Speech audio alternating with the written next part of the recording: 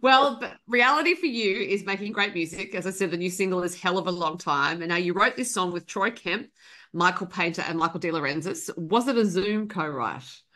It was. So I wrote Hell of a Long Time back in 2020. So Oh, going, okay. going back a while now. And at that point, COVID just kicked in. Um, being from Victoria at that moment as well, literally couldn't do anything. So I arranged the co-write with Troy and we wrote the song. And it's pretty much, we wrote it about that need of, you know, not being able to see close friends and close family and going reminiscing on, oh my goodness, you don't realize how good you've got it until you don't have it anymore. Mhm. I sat on that um, on that version of Hell of a Long Time for nearly three years, and there was something about it that I was just like, oh, it can be better. I know it can be better. And as songwriters, we always refine and we keep refining until in our heads we've got it perfect. I don't know why, but um, call us crazy.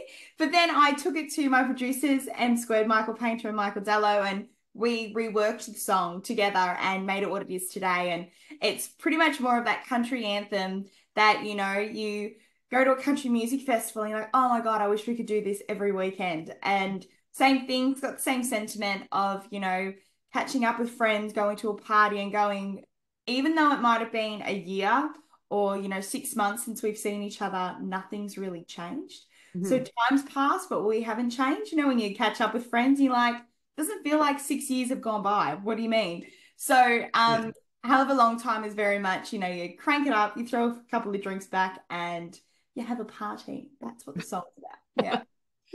Did you hold on to it for that time because you thought it, it could be improved and it wasn't ready to be out into the world?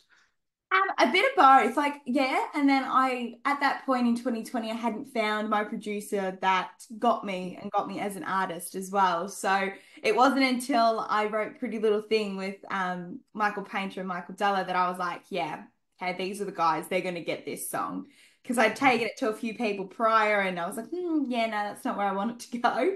Um, you have like this idea of what you want the song to sound like, and they were able to break down my creative confusedness that you know every artist has when they go to a producer and they're like i want it to be like xyz and it's nothing like that but they actually break down what you actually really want uh, which is incredible and yeah i've got songs that i've been sitting on for years and i'll go back to them and sometimes it just takes a new new eyes and new perspective to go that's the missing piece if you hmm. know what I mean. So yeah, so it was a bit of both on that one, but I'm so wrapped with what it's sounding like now. It's better than what I ever could expect.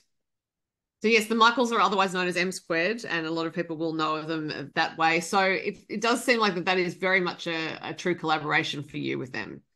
Yeah, it definitely is. And Troy was amazing. I could still got all of the elements in it. The the core of the song is still there. Um, the chorus is like slightly different, but pretty much everything else is exactly the same. And those boys are absolute legends. And there's a reason why a lot of people choose to work with them because they are great to work with, great collaborators, and they respect a lot of artists as well and respect your creative choices and want to enhance your sound as an artist and your point of difference, which is amazing. Yeah.